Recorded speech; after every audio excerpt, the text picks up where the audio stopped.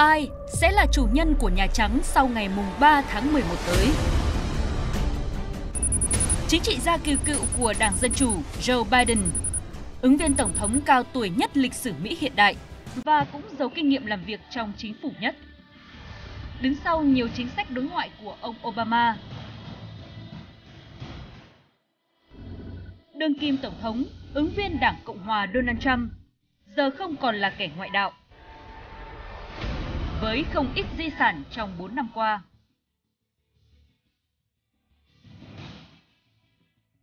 Hai ứng viên với nhiều định hướng chính sách hoàn toàn khác biệt, đặc biệt là về y tế, biến đổi khí hậu và đối ngoại.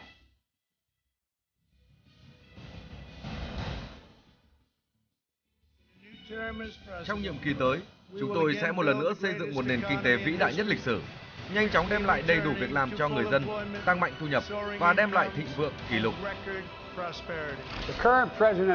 Vị Tổng thống hiện nay đã che giấu nước Mỹ trong bóng tối quá lâu rồi, quá nhiều tức giận, sự sợ hãi và chia rẽ. Bốn năm qua, chúng tôi đã đảo ngược những tồn tại mà ông Biden gây ra trong 47 năm. Hơn 170.000 người Mỹ đã chết vì Covid-19 hơn 50 triệu người thất nghiệp, hơn 10 triệu người sẽ mất bảo hiểm y tế trong năm nay. Nếu vị Tổng thống hiện nay được tái bầu, chúng ta biết điều gì sẽ xảy ra. Trung Quốc sẽ sở hữu đất nước chúng ta nếu Joe Biden đắc cử. Khi là Tổng thống, điều đầu tiên tôi làm là kiểm soát lại virus đang hủy hoại nhiều cuộc đời này. Trong một năm tràn ngập những biến động, bất ổn của nước Mỹ và thế giới, đặc biệt là mối đe dọa từ Covid-19, người dân Mỹ sẽ đặt niềm tin vào ai? Nước Mỹ sẽ thay đổi như thế nào sau ngày 3 tháng 11 tới?